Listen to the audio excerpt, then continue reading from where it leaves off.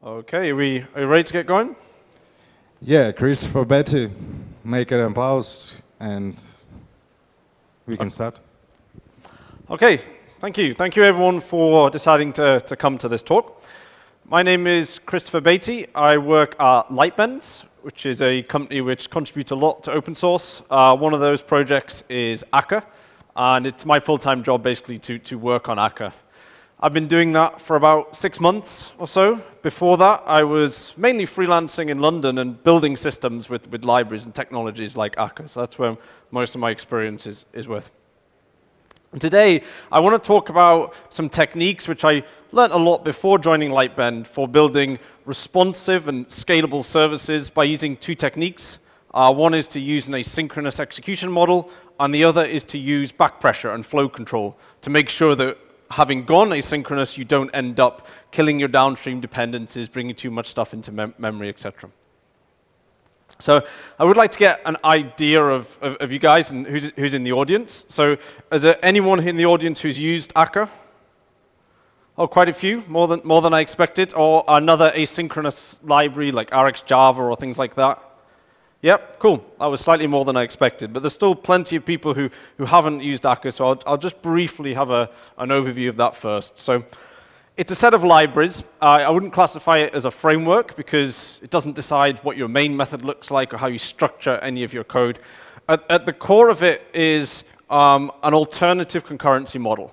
So rather than using threads and semaphores and locks, etc., uh, you deal with something called an, an actor, which you can think of as a class, but rather than calling synchronous methods on it, you send, you send messages asynchronously. And you don't actually deal with things like threads, etc. The Akka scheduler, the Akka runtime, it, it handles that. And it's got a couple of benefits. So one, you don't need to worry about mutual exclusion. Your actor only gets to receive one message at a time. And you don't need to worry about data visibility, so it puts the appropriate happens before relationships, etc. So it, it's a useful concurrency model. It also works pretty well over the network. So rather than taking a synchronous local programming model and turning it into a remote RPC framework, uh, which can have problems due to the abstractions and the latency involved, taking an actor model and making it distributed is, is, is more realistic and straightforward because you're message passing and you deal with the, um, the at most one semantics. So we've got some clustering software, but I'm not really going to talk about that today. We also have a persistence API. It's, uh, it's not like Spring Data. It's not a, a general persistence uh, framework. It's specifically if you want to do event sourcing or, or CQRS. The two things I will spend most of this presentation on are going to be our HTTP engine. So we have a full from scratch uh, HTTP library and Akka Streams, which are a reactive streams compliant uh, library for doing asynchronous uh, message pro data processing. So first goal of the presentation is to define what it means for an application to be responsive and how being asynchronous and using flow control can help. So I'd say there are two types of responsiveness. So the, the first one is pretty trivial. So if a request comes into your application, it's can you respond within a certain amount of time? Not real-time systems, but you know, pretty deterministically deciding whether you're going to be able to be successful in that request or whether you might fail. And in the age of distributed systems and microservices and deploying multiple instances of your application, I'd argue that being down is, is, is probably better, or failing is better than being slow, because it just appears as if you hang, and, it, and it's, it's bad for your clients. The other slightly more interesting thing about calling your application responsive is can you remain responsive under heavy load? So if you capacity plan your system and you think that with the hardware that you've been given, you can handle 1,000 concurrent requests, what does your application do if you get 1,001 requests? What, does it, what happens if you get a spike in traffic and you get 2,000 requests into an instance? And I think applications tend to fall into two categories. And I think one is good and one is not so good.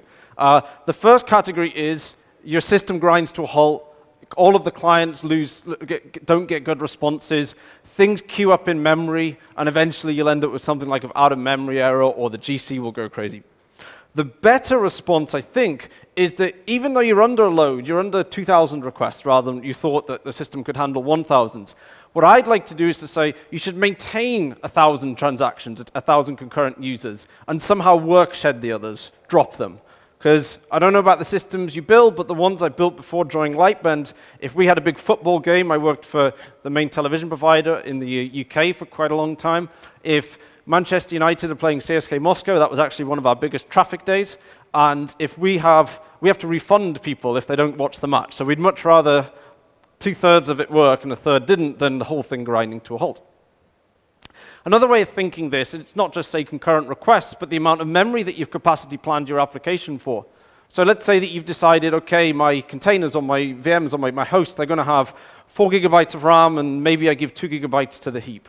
What happens when you get an unexpected request come into your application and it's pulling something from a queuing system or perhaps a database and it's a bit unbounded? Maybe it's the events for a user, what they've done. What happens if you end up bringing too much into memory?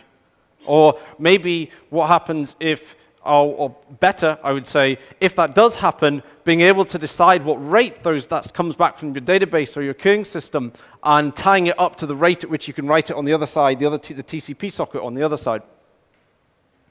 So that's responsiveness, and we're going to talk about that. The other characteristic that I, I like, I like is, is scalability. And again, I'd say scalability falls into two categories, and we're primarily going to talk about the first one.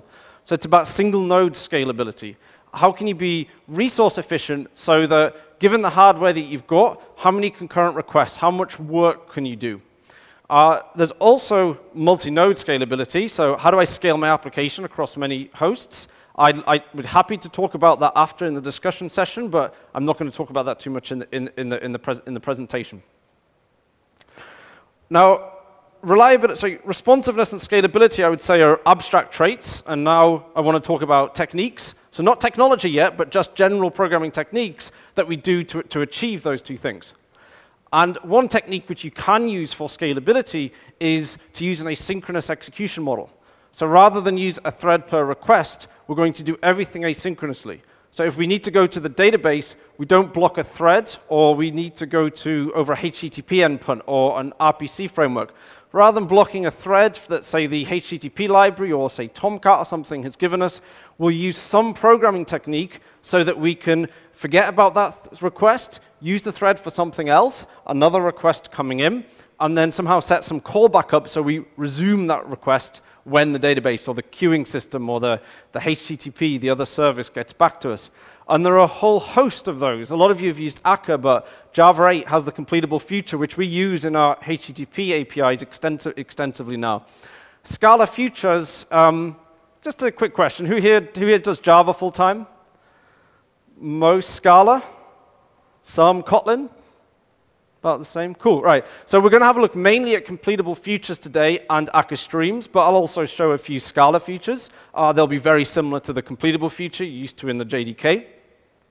We're not going to spend much time looking at actors because actors suffer from the problem which I'm going to talk about, which is how do you decide, how do you do your flow control throughout your application? We're mainly going to look at Akka streams.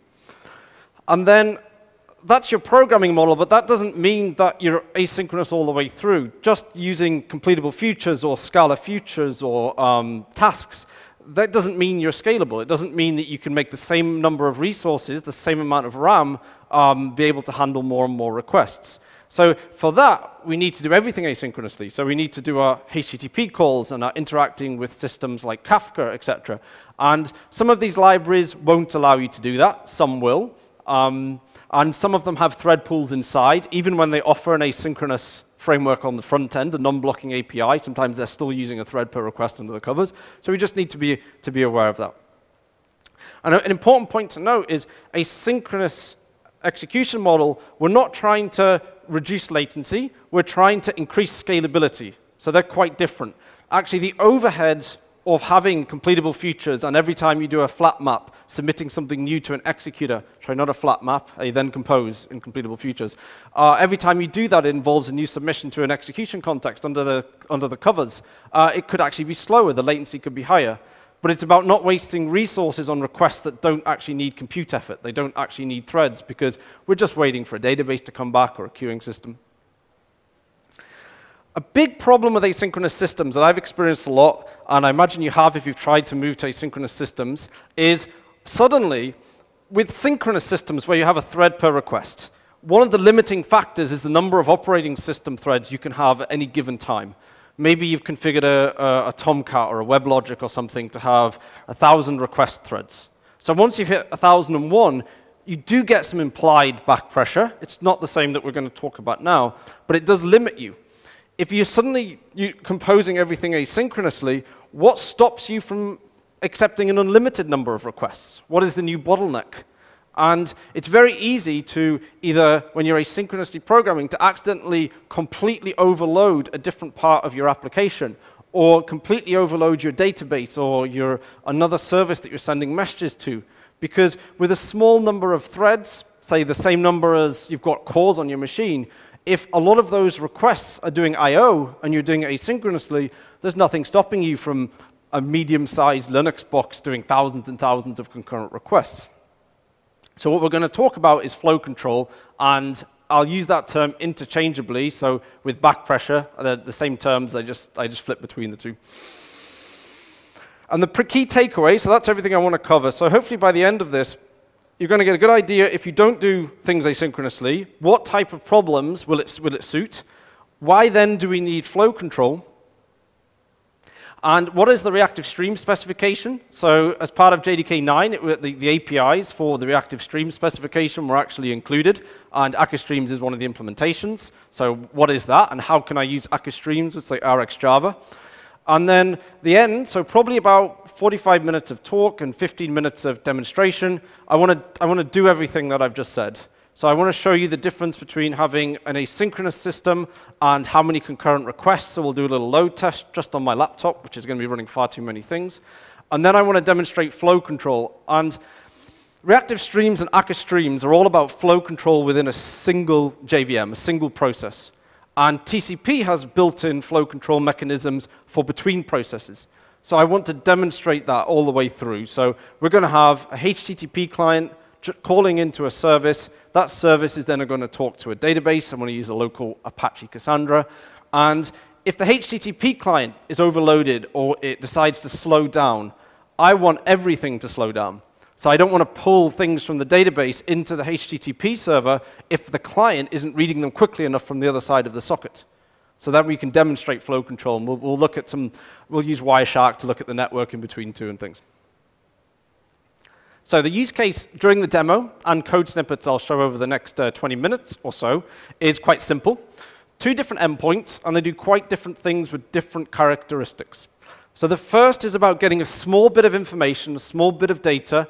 It's finite. It might be no more than like 10 kilobytes, just some user information from a database over the network using HTTP. Now, that is the endpoint which we'll use to demonstrate the benefit of an asynchronous, of using asynchronous execution model. Because really, there's no compute there. Um, all we're really doing is waiting for responses. So that's where you get the, the, the most benefit from programming this way. And then we're going to do the, the one which is an unbounded response. So maybe 5 megabytes comes back from the database, maybe 2 gigabytes does. And I preloaded a little Cassandra instance on my laptop which has many gigabytes of data for what, which will come back in one, one request. And it's these typical use cases you have where okay, I want to track what my customers are doing. Um, most customers do 12 events, or they log on once a day. And then you've got the one crazy customer that decides to log on, log off, do all sorts of things, and you end up with far more data for that customer than, than all of the other ones. And that's the one we'll show the, the flow control all the, way, all the way through. And a couple of requirements. Based on the title of the talk, we want to respond, even if it's a failure. So I'd rather have a 503 after a given amount of time than to wait indefinitely when my database is slow. And the other two I've touched on, but maybe not explicitly, I don't want to do unnecessary work. So if the client slows down, we don't want to keep hitting the database. And I want to do it with a constant memory footprint, regardless of the size of the payload that we eventually end up sending to the, to, to the client. And when I do the demonstration, we're going to do it with a small number of threads, and we're going to do it with a 128 megabyte or 256 megabyte heap, even though the responses are going to be very, very large. So, on to actual examples and actual code. So, we're going to start talking about execution models and, and, and how they differ. And throughout the talk and all of my examples, they can all be simplified to one client talking to one server. That might be over something like TCP. It might be messages that go via a queue inside your process. And we're going to really think about what threads are involved and how does the client decide at what rate that it sends requests to the server. They might be request response, it might be just an asynchronous send, fire and forget. And we really want to think about what happens in the server, so what happens in the yellow diagram here, what threads are used, but we also want to take it all the way to the client. We don't want to just return from a method and say, we've, we've brought the memory into object and something else will serialize it. We want, to, we want to see it all the way through. So the, the first example is how I'm guessing a lot, a lot of Java code looks like, which is a, a traditional synchronous programming model where you assign a, an individual thread, which in Java is an operating system thread, to each thing that you do, to each request. So if you're using something like Tomcat or Jetty, then they'll provide this and it'll call into your servlet or some abstraction on top of the servlet. And that's where you're pretty much you're modeling your system as a, you know, a method invocation, a synchronous method invocation. So of course, in this example here, which is very simplified, if I want to perform a task, that's fine. But what happens if I want to perform a group of tasks for an individual request? Well, they'll happen serially, one after, one after another. Even if one of those tasks is not really doing anything, not really using any CPU, it's just waiting for responses for things. Now, you could solve this. You don't need something like Akka or some fancy library to solve this. You could solve this with executors and you know, queues, thread pools, no problem. But that's really going quite low level, and you have to worry about a, a lot of edge cases. And Actor, for those who haven't seen them, is kind of different. You, in, the, in the Java API, you, you build up this uh, match, you build up this uh, receive builder. And what it essentially does is it associates things, classes, messages that you send to it, in this example, a task, with some work to do. it looks pretty much like a method call, looks like the other one. But the difference is when you send this message, so the code below which calls actor.tell, that's asynchronous. That puts it in what's called a mailbox, which you can think of as a bit like a queue. And then our scheduler, which will be sized based on the number of calls on the box, will decide how to schedule those messages going to those actors. And if you want to do something like a blocking database call or a, a HTTP call, you would hope you'd, you'd, you'd, try to do that in an asynchronous manner, and you can schedule another message to come back to the actor when it's done, and then you can, you can, you can carry on. And there are ways, if you can't avoid a blocking call, to use a different thread pool, like an IO thread pool, uh, if your actor really does need to block. But of course, this is just one way to do things asynchronously. We're going to look at futures very soon. So the next thing I want to look at is something a bit more concrete. So a web request, a HTTP request. I'm guessing a lot of people here use Spring and JEE and all kind of things which basically map a, a, a HTTP request into a synchronous method invocation. And it's very natural, I think, to, to think of a request, a web request, as a function from HTTP request to HTTP response. And if everything you want to do in your web request is CPU bound, I think this is a really good model. When this isn't a good model is when you need to talk to databases, talk to queuing systems, send other messages, things which don't really require CPU time. So a lot of the aforementioned web frameworks, they've decided to change this, and many of them will be a future, which we'll just see in a second. But we want to worry about this example. So when these things take a long time and we don't need a CPU for it. And a lot of these things are very hard to time out and be responsive deterministically. Who here makes a call out over HTTP synchronously and thinks it deterministically times out in, say, 500 milliseconds? It's, it's really quite hard because most things like HTTP clients, you can set socket level timeouts on them. You can say set the connection timeout, you can set the TCP receive timeout. But what that is, it's a timeout which is, it's a network timeout. So just because you're receiving a bit of data every 500 milliseconds, because that's what you've set the timeout to, your whole response might be spread over many, many packets. So this might take, take even longer. So a way around that is to not represent your request as a, asynchronous method call, but instead to represent it as a function from HTTP request to some asynchronous abstraction. In this example, it's a completable future. So there is nothing stopping you with completed full futures, which were added in Java 8, to do lots and lots of exciting blocking things inside the callbacks, inside your, you know, your then composes and your, your then applies. But it does give you the option not to do that. You know, you can, assuming you're dealing with an async database, an async you know, HTTP client, what you can do is you can set up this chain of things, and now what you're returning to your web server, to Spring, to Akka, to whichever thing you're using, is not the whole request, but a recipe for the request, which it can then execute and then put a callback on and then send the data back whenever it's ready. And this works really well for small responses. It's exactly how we're going to do the first requirement of a user getting some user stuff from it, from a database. What I think futures are really bad at, though, is when you've got large responses, because it's very easy to accidentally bring all of the response, regardless of how big it is, into the object inside the completable future. That's not to say you do do that. It could be some type of stream, which we're going to look at Akka streams uh, for that example. But we don't want to, for a, a request, bring an unbounded amount of data into something like a future. So one kind of caveat, as soon as you go into this style of programming, everything needs to be asynchronous, right? So in this example here, a very simple synchronous code is suddenly using these funky methods like then compose and then apply. So the things like looking up a user, that needs to return a completable future. If we go and make a request to an external service, that needs to return a completable future or, or something of, of equal power. And I'm not really going to cover the actual APIs of completable future much today, but essentially, then compose allows you to, when an asynchronous computation is finished, I would like to take the result, even though I don't have it yet, and do another asynchronous computation without using up a thread in the meantime. And then apply is quite similar, but you're, you're, you're tacking on a not a synchronous uh, method call. So it, we don't need to do any network call or anything to map the response to a HTTP response at the end. So this is some actual HTTP code. This is probably a good time to note that th this presentation, all of the codes, um, it is from the demo. So it's not copied and pasted. It's not just something I've typed in PowerPoint. There's a, I've got a little thing which pulls the code from an actual project and puts it into HTML slides. So we're going to go through the, re the real code, the actual code inside an IDE uh, later on. So here, imagine our database could um, go, to, go, go to a database, get a user. The user might exist, so I decided to represent this one as an, a completable future to represent the fact it is asynchronous, and then the optional to say we might get a user, we might not.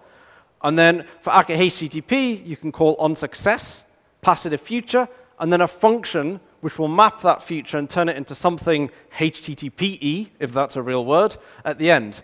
So we can either serialize the response, or we can say, no, sorry, it's a complete status code not found. So here's the same example with a bit more, but in Scala. So I've included the, um, the API mapping, so the equivalent of like your app path annotations in like JAX-RS. So we're saying user slash name, this would be. And the reason I showed this one is when you deal with things like futures rather than synchronous method calls, it's relatively straightforward to compose two futures, to say, actually, I want the first one that completes out of this one and this one. So it's very easy for Akka HTTP to say, to, to slap on a timeout, and it basically is going to race another future with your future. And whichever completes first will get the response. And we'll probably see that when we end up load testing it on my laptop. So either we'll get a 503 from Akka HTTP because there's a request timeout, or we'll get the actual response from my, my local Cassandra. This is just a full example of dealing with the Cassandra API. Not very exciting. We'll probably look at it in a bit more detail when we do the demo. But they use uh, Guava's listenable futures. So I've just got a, a, helper function there to turn it into a completable future. I then just do some mapping, and it's not too exciting. Right. So that's about being responsive. And just to recap a little bit, there's two reasons we wanted to, to move to what seems like a different and more complex programming model of using things like completable futures. And it was to allow us to use fewer threads so that we could be more resource efficient, so we could run more concurrent requests within our, our, our JVM. And it's one way that you can put deter more deterministic timeouts on because you're not blocking a thread which might be stuck in some library you know, all the, the, uh, the web framework Akka HTTP is doing, or Jetty, is waiting for a future to complete. And it, it could give up waiting for that future quite easily. However, we've definitely produced ourselves a new problem. If you're using Jetty or Tomcat or something like that, and you're not using, say, the async servlet API, you are mapping a request to a thread. And things like Jetty and Tomcat, they have thread pools with a, with a fixed size. And maybe if you're using, when I use Dropwizard with Jetty, I think the, the default was 1,024 request threads. which means that you can only handle 1,000 concurrent requests, right? You can increase that if you've got more memory, that's fine. But that gave you actually a big benefit because you suddenly have now limited, I can actually only make 1,000 concurrent requests. So if I'm calling out to another external service or another database, you can't really call it more than 1,000 times unless you're kicking off other threads, etc.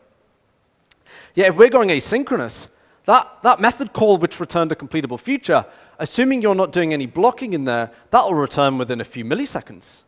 So how many concurrent requests can we have into our service now? I don't know. It could be nearly an unbounded number, and we'll probably hit a new bottleneck, which could be TCP sockets on the, on the box. It could be memory. It could be CPU, because you've got so many of these things outgoing. And even though only a little bit of CPU is used each time, it, it adds up. So most of the time when, when, we, when we move from synchronous to asynchronous systems, you end up with the problem where you either overload part of your application or you kill one of your dependencies or you kill your database and bad things happen. So the other part of the talk is going to be on how to, how to prevent that. And it's all about playing fair, and we want to talk about how to do things proactively rather than reactively, which is ironic because it's called the Reactive Streams API. But we don't want to react to us killing our database we want to proactively send the right number of requests so we can, we can utilize our database very well or another component in our system, but we don't want to overload it. And it's just asking the simple question, how many requests can a client send to a server? How many messages can you send to a topic on, say, Kafka? Uh, let's say you've got like two bits of Java code and you've got a queue in between. How many messages should you put in? What happens when, when the queue is full? I've worked on a lot of systems, and I've done 10 years of Java programming before moving to, to Scala. And the default is some messages start to come in, and that's good. But eventually, you eventually overwhelm. And a lot of Java executors and things, the default queue in front of them is unbounded. So it's very, very easy in these style of systems to completely overload a part, bring far too many concurrent requests in, in, into the application, and either run out of memory or have a DBA shout at you or take out another, uh, take out another service. So this is what we want to try and avoid next. The first option could be just to put Kafka in between everything. But that obviously doesn't work if it's two parts of your process. And also, you cannot put Kafka in between your database and your program. You could try. But the thing about Kafka is it gives you the illusion of an unbounded buffer. Who here has filled up their Kafka cluster?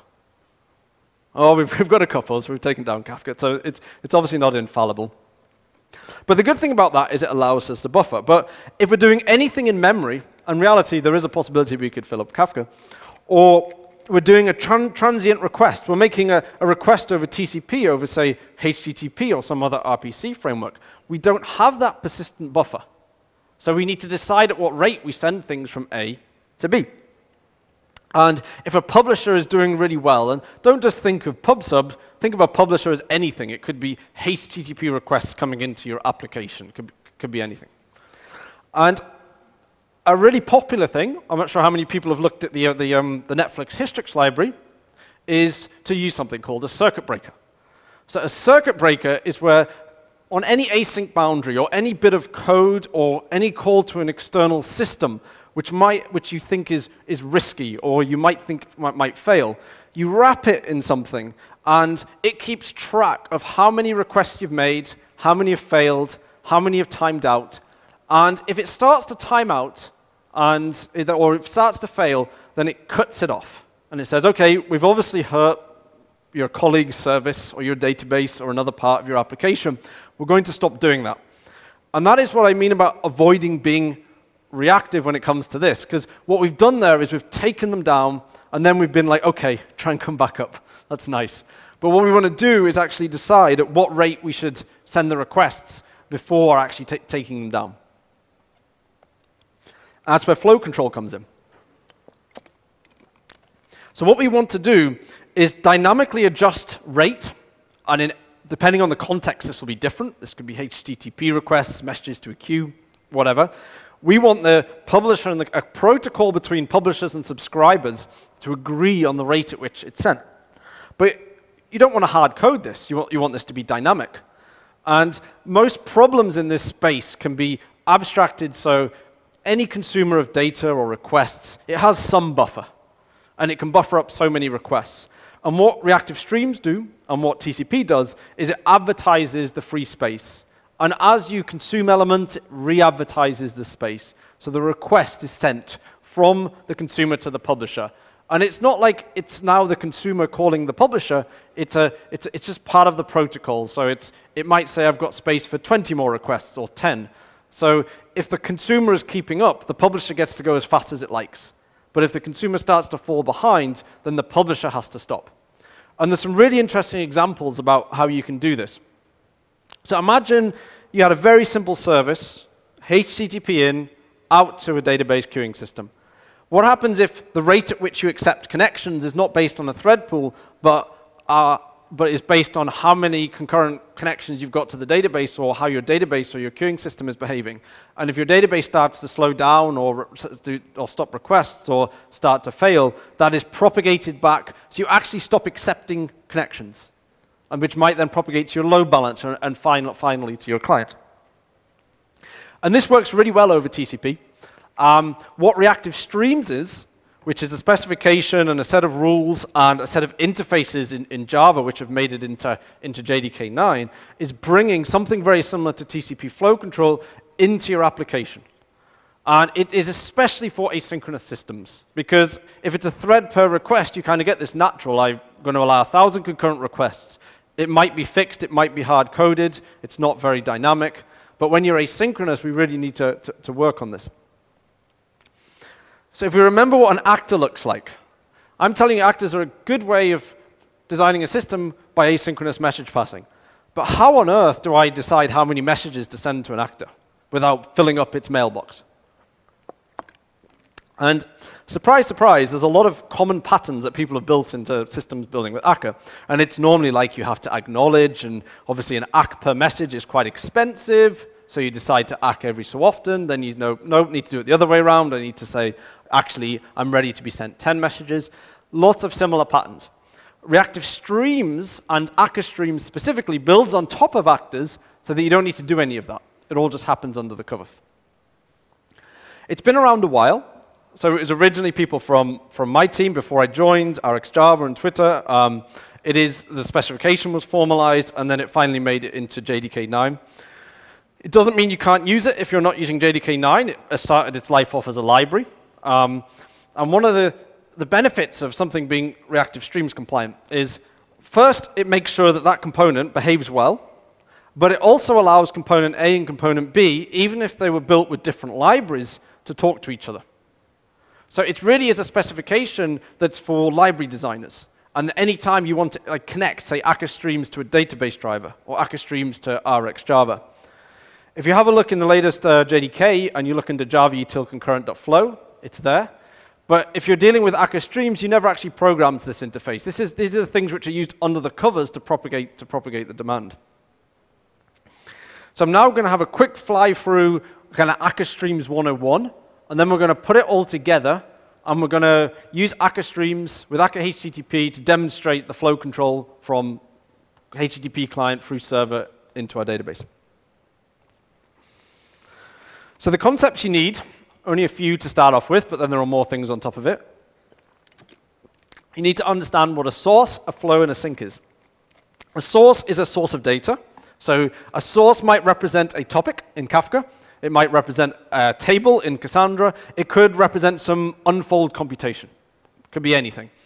A sink is on the other side. So a sink could represent, again, most of the same things, because but this time you're, you're putting messages in the topic or in the table.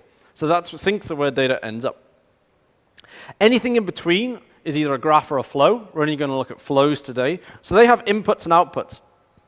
There's some really simple flows, like map, which takes it, wait, type A and turns it into type B. But then there can be some really complex flows.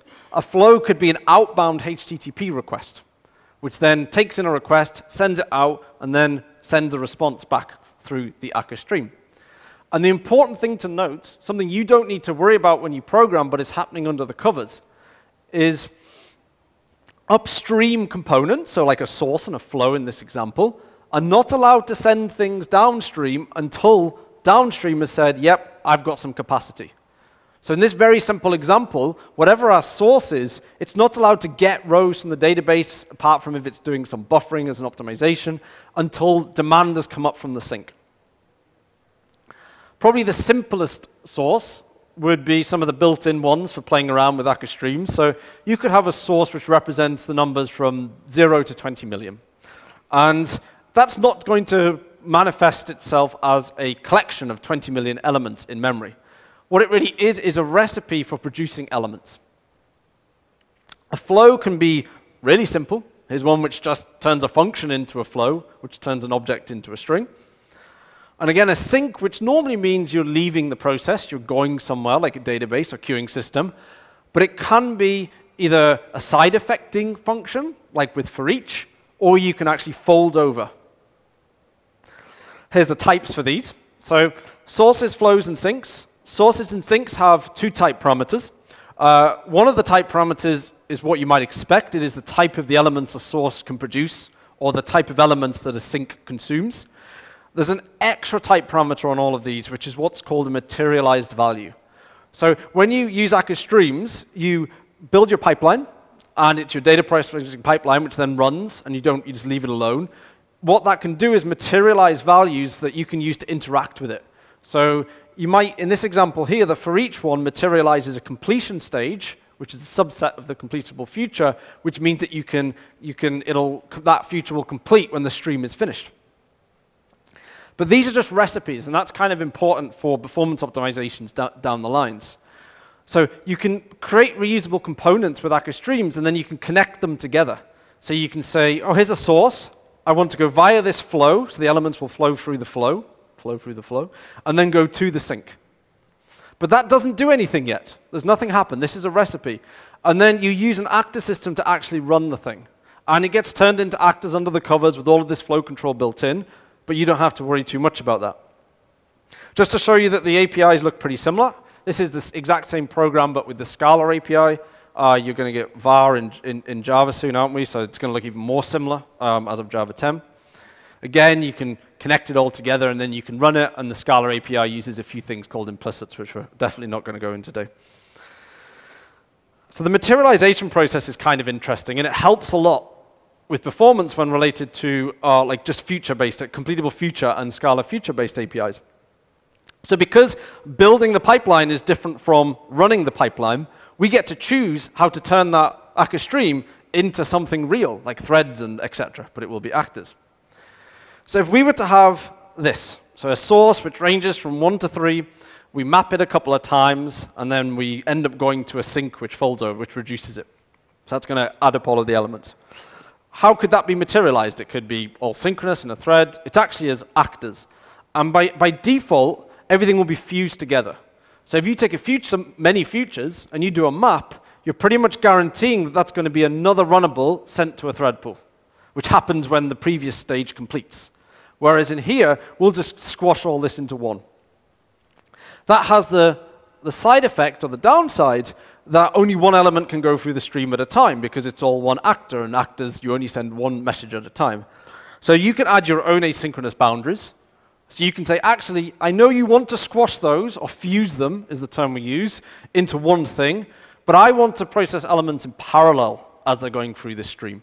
So putting this async thing, we don't see it, the difference is a small async thing on the, on the second line. What that'll do is it'll be materialized as two actors. So now, when element one gets to the second part, past the asynchronous boundary, another element can be processed up uh, in, in, in the first part of the stream. And it's at those asynchronous boundaries where the flow control happens.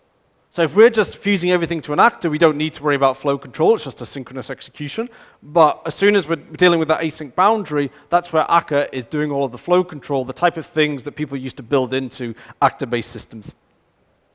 And that's also the place at which you can turn an Akka source and Akka sinks into reactive streams, uh, publishers and subscribers, and connect them up to another library.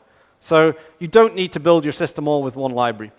I can't imagine many people are going to use multiple of these stream processing libraries, but this is going to come to play a lot in future versions of Java when the built-in JDK HTTP client could be reactive streams compliant, and the, the async JDBC driver could be reactive streams compliant. It means we're just going to be able to glue these things together, and it's going to work nicely. But all of that is inside a single process. So same JVM, actors running. So then we need to tie into how TCP works. And when we're dealing with raw TCP or HTTP, we need to make sure we turn TCP's flow control into akka streams and reactive streams um, back, uh, flow control. So quick kind, I'm guessing a lot of people will know this, but a quick like overview of how TCP flow control works is it's bidirectional, so we've got more buffers. You know, client can send to server, server can send to client. There's a buffer on both sides, so you have a send buffer and a receive buffer. And you're not allowed to send data over a TCP socket until the other side has advertised its window, its buffer size. So you can never, over, you can never overload it. And as our application, so the green server in this example, as it, if it doesn't consume elements from that buffer, say it starts to fill up, the window is re-advertised to be smaller.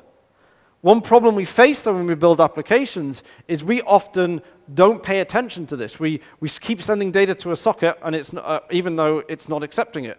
Or we bring too much into memory from the socket or, like, or too much from memory from a database before we can actually send it to a socket on the other side because they're very, very disconnected. When we do the demo, I'm going to show this. Don't worry about seeing what's on Wireshark right now. I'll, I'll zoom in when we're doing it. But we're going to see this happen. We're going to see the TCP windows fill up, and we're going to see TCP halt. Then we're going to kick our application to speed up, and then it's going to all unflow, and we're going to start sending data between our components again. So just to make sure I haven't lost you there, we need to deal with flow control within an application, within a process, and that's to make sure one part of our application, say our HTTP requests coming in doesn't overload, say, our database, and then we want to translate that to make sure it propagates over, over TCP. So it's about time we put it all together. So my plan is to, we are, great, I've got about just under 20 minutes left. So we'll have a quick look at what we're going to design and build in slides, and then we'll just go into the IDE. So if you miss any bits of code that I show you and you don't understand the code, we're going to spend more time on it inside the IDE, so, so don't worry about it. My goal is not to have you leave this presentation and be completely familiar with the Akka HTTP and Akka Streams API. That's something you have to spend quite some time on. What we want to see is the, the benefits of using an API with flow control built in. So we're going to use an Akka HTTP client, Akka HTTP server, and we're going to use something called Alpakka. So Alpakka is a library of Akka Streams connectors built by a little bit by my team, but primarily by the community, users of Akka Streams who say, okay, I want to build a source or a sink for my favorite database or for my favorite queuing system. And they understand, obviously, that system way more than we do. So they know how to translate flow control from, say, a Cassandra database or a RabbitMQ better than people who write Scala all day. So the big example is in Scala, but I, it's very, very similar in Java. I can show you both when we get into, into the IDE. So an Akka HTTP client, it is a bit different to, to ones you may, you may have used before. So the first bit is just a single request. We're sending it off. Nothing exciting there. The bit I want to highlight, and we'll spend a bit more time on inside the IDE, is the fact that when we get the response, it's a future. So when we get the headers back from a, a HTTP request, that future will complete. But that does not mean that we've got all of the data off the socket and brought it into memory.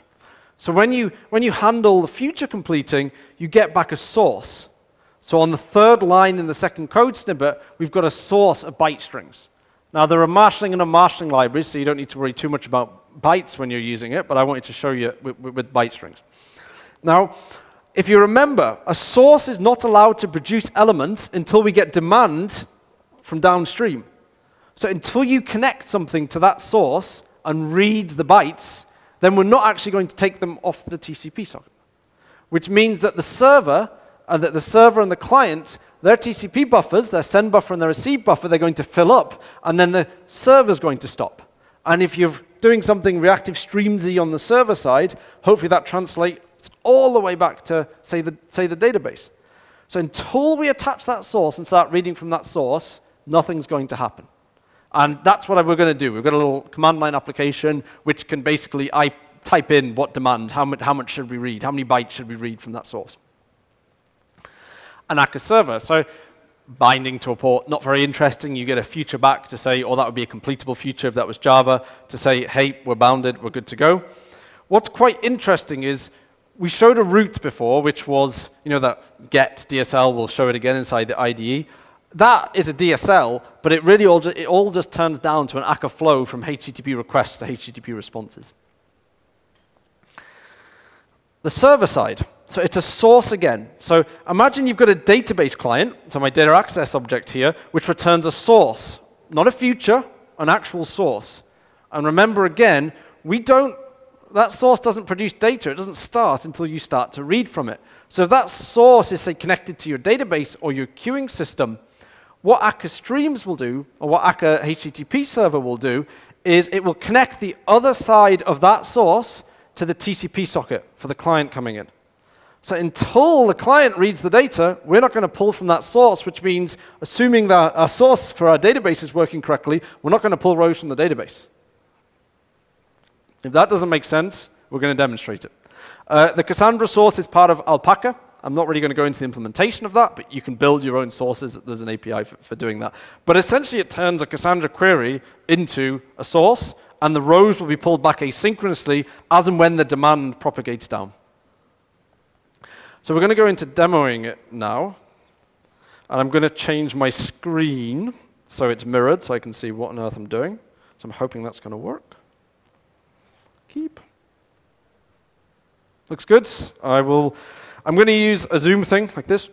So anytime I think something's important, I can zoom in and hopefully everyone can see, just in case you're thinking that's, that's far too small.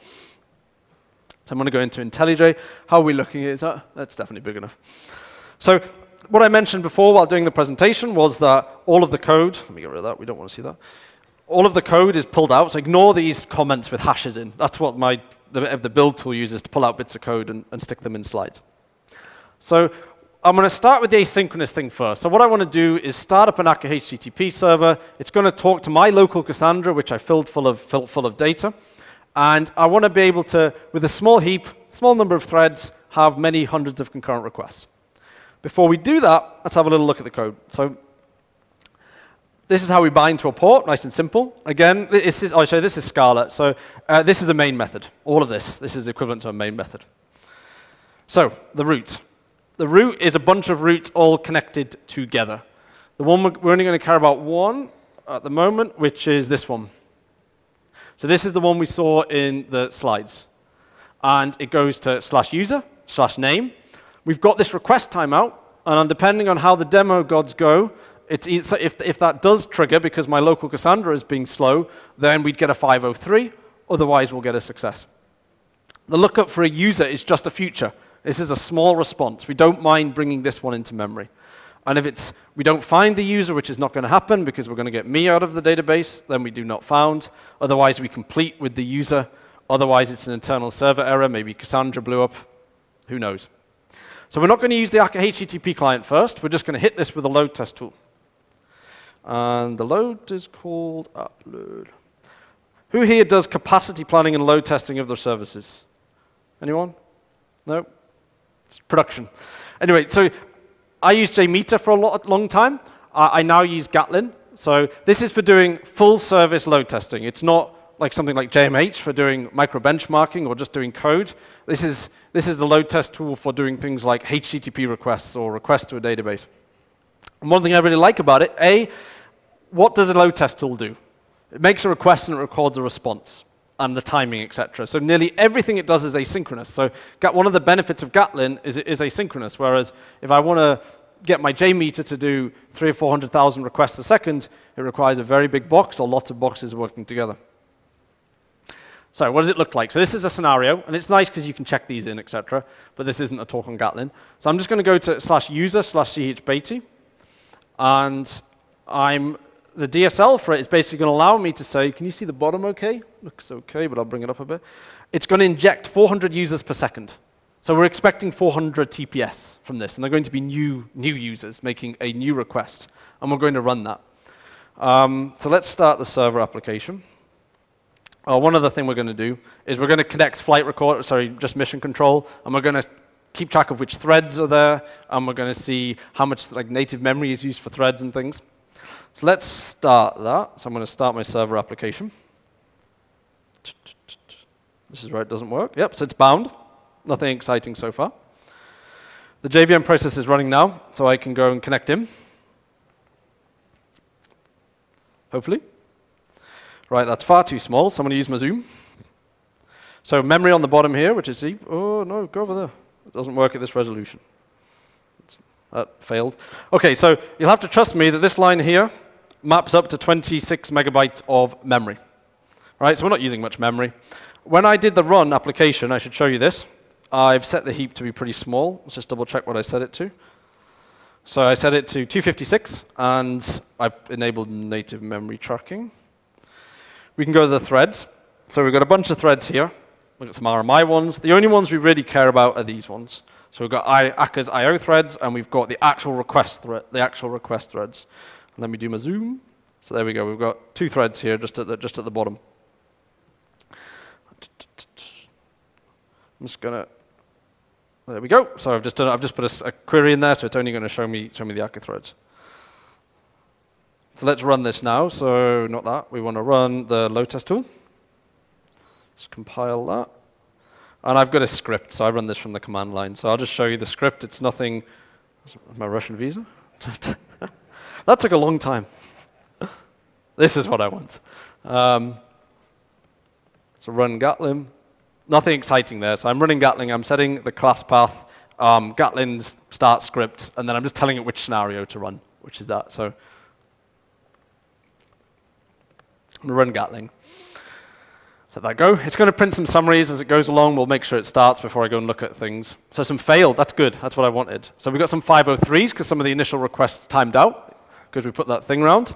This is going to generate us a nice, pretty report, but it'll print out some things in the meantime. So thousands of requests are currently happening. We're up to seven failures and 5,000 requests. If we jump back to this one, which I'll zoom in again, I've configured Akka to only use up to eight threads. I have eight cores on, on, on this machine, so it's not going to create any more threads than that.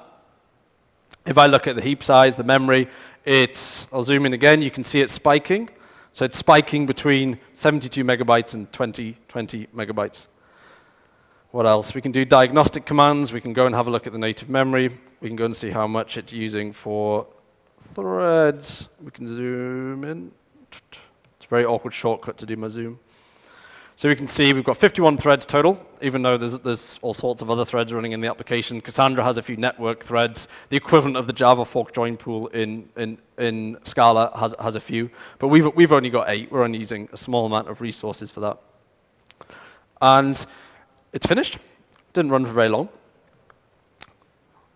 I'm just going to open that up. If you've not used Gatling, it can awe you with its prettiness. So we've made 23,000 successful requests or requests under a certain time. We were going at 400 requests a second, even though we only had eight threads, which is kind of the, the benefit. Uh, this is just running on my laptop. It also has the load test tool, also has Cassandra. So when you're running on obviously a beefy Linux box, you can, you can scale this up. So the next thing I want to demonstrate, and we've got just under 10 minutes, is the flow control. I actually think that's a lot more interesting. So for me to demonstrate flow control, I need to be able to control the rate at which something consumes something, right? If I just let it go, it's just going to go quickly and it's going to be the most boring demo in the world. But if I, what I've done is I've got this client driver. So this is a HTTP request. So it's a future of source. So future completes when the HTTP request is, start, is, completed and we've got HTTP headers. The source represents the data. So if we look at the implementation, it's from the slides. It takes it into byte strings. It does some parsing, but that's not really important. Now, what we've got here is a test sink. So to test Akka streams, we provided a test utility which gives you sinks and sinks so that you can say request six elements. You know, so you can actually recreate the scenarios that happen in your production systems. I'm going to use that to drive this application so I can change the speed at which it runs. So what I'm going to do is, this is the HTTP request, the activity. When the future is complete, so that means the HTTP headers are back, what I'm going to do is I'm going to take the source, the source represents the actual data that's coming over the socket, and I'm going to attach it to my test sink. And then I have control over the sink. How do I control the sink? Well, it's a very fancy application. It reads a line from standard input, and then it tries to request that many elements in a loop. So I'm going to type it. I'm just going to type things in. So I'm going to bring this up. The HTTP app's already running. I'm going to open Wireshark as well. I'm going to have a look on loopback, and I don't want whatever Dropbox or anything's up to. So I'm just going to say TCP. Did I start the client? Let's client driver. Let's just restart that. Chugga, chugga, chugga, chugga, chugga. TCP point. Bear with me one second. Why is I haven't left the load test tool running. Yeah, the client was running. Close that saving. So nothing's happening yet. I'm also going to just, just so I don't go crazy, I'm going to just open. This is uh, server socket. This is uh, socket statistics. So that just there's no TCP. This will show me if there's a TCP connection um, between the client and the port. And because the client and the server is running on the same host, we're going to see both sides of the TCP connection here once we've started. So I'm going to start the T I'm going to start the client driver. It's going to go, and it's failed because connection is refused. Okay, I'm going to start the, the server because I forgot I stopped it. Server is now running. Client is now running. There we go, doesn't do anything. Right, so what's happened so far? So you'd think nothing should happen because we haven't typed anything in. That's what I'd initially think. But what has actually happened is we've sent a bunch of data. So I'll zoom in just in case you're too interested, but this is showing the TCP handshake, the SYN, SYN-ACK, SYN-ACK, then it's pushing data. And the reason for that is we're able to do some amount of work until we fill up the TCP buffers, the sends buffer on the, on the server side and the receive buffer on the client side. But once they fill up, then TCP stops, and akka HTTP, or more specifically akka TCP, it then stops the flow control. It stops giving demand. So if we actually scroll down here, what's happened between the client and the server, if we go down quite a bit, really, the hell are you doing? What is this? Is this red stuff here, which is is basically saying, Wireshark, which is sniffing the network traffic, is saying that the TCP window is full, right? So everything has stopped. And one thing I've done in the server application is I've got these printouts, which hopefully you can see, which is when we're pulling data from Cassandra. So because the Cassandra data, database driver is asynchronous, you actually tell it when it should prefetch. So every time it thinks it should pull data from Cassandra, it makes this log. And if I were to just press enter a few times, it's not happening anymore. It's just one TCP connection. There's no, it's not multiple requests here. It's one request that's ground to a halt because we're not reading the bytes off the socket on the client side. This here, which is um, socket statistics, this is showing us to say there's a, we're seeing the TCP connection from both sides. So here's it from the, the server to the client and the client to the server. These are how big the buffers are, and it's not getting any bigger or smaller, so we've, we've just halted. So what happens if we then give some demand? So the, the data is bringing back from the database is not very interesting. It's events for me, the customer. And my events are things like I ate some crisps, I go to the shop, I buy some crisps, I eat. It's just the same thing repeated over and over again. And I can ask for a thousand of these.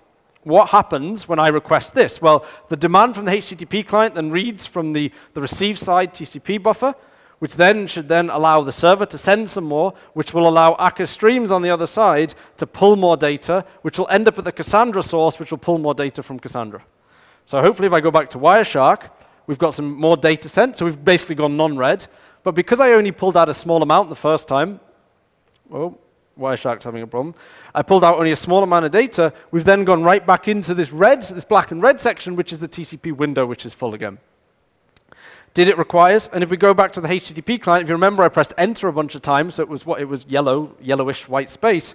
We've started querying Cassandra again because the client has read some sockets. So we've gone from HTTP client over TCP, HTTP server over TCP to Cassandra, and it all run and stop. And remember, this is still the same application running with quite a small heap. I restarted it, so I need to reconnect again. But we're still running with a small heap, even though it was, if, if I actually pulled the whole thing from Cassandra, it would be many hundreds of megabytes if not gigabytes. Okay, so that is all I have time for the demo, I think. I've got about 30 seconds left. So just the summary. The asynchronous thing is low resources, lots of concurrent requests. The flow control demo is as soon as one part's slowed down, that propagates all the way to whatever external systems, whatever databases you're using. And that allows you to not waste resources, allows us to have many concurrent requests because we're not wasting time doing things for requests that have, say, slowed down because whoever's calling us has decided to fall over in a heap or, or slow down. So on that note, I just want to say thank you very much. Uh, the resources, all the slides are on GitHub there, including the code and instructions on how to recreate any of the demos. If you want to ping either my team or me on Twitter, feel free. I'm not very good at responding. Uh, thank you very much.